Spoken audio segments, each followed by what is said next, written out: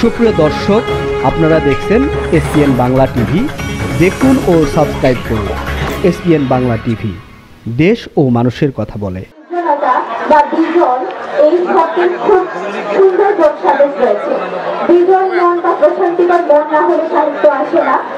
এবং এই মানুষের প্রেম হোক, ভালোবাসা হোক, যে কোনো ধরনের সংকট নিয়ে এই অনেক ধরনের অনুভূতি মিশ্রণ নিয়ে আমার মায়ের এই প্রথম কাব্যগ্রন্থ, এত কাব্যগ্রন্থ।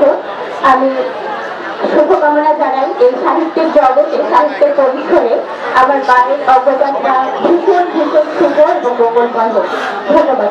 প্রভাষক ফুলছড়ি সরকারি কলেজ, ফুলছড়ি গাইবান্ধা আমার এখানে যারা এসেছেন, আমার এবং আপন স্যার যারা আছেন, সবাইকে আমি চিনি, আমার তারা খুব শুভাকাঙ্ক্ষী। আমার জন্য সবাই দোয়া করবেন। আমি যেন সামনে আরও ভালো লিখতে পারি, তো আপনাদের সঙ্গে থাকতে পারি। অনেক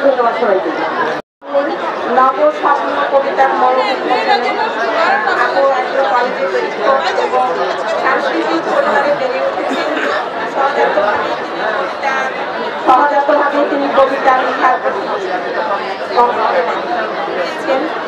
আমি এখানে আপুর একটা কবিতা আবৃত্তি আমি এখানে শহীদ পরিবারে একটি বৃহৎ শহীদ পরিবারের একজন আমার কাছে মানে এত আনন্দ, ভীষণ আনন্দ লাগছে।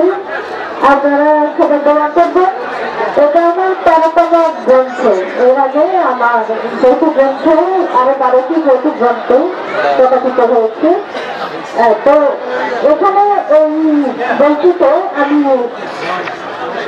যেমন আমাদের সমাজ, সংস্কৃতি প্রকৃতি, শিক্ষা প্রকৃতি সম্পর্কে বইটি মুখে ভালো লাগবে আপনাদের আমি শুভকামনা রাখবেন সবাই আমার জন্য আল্লাহ।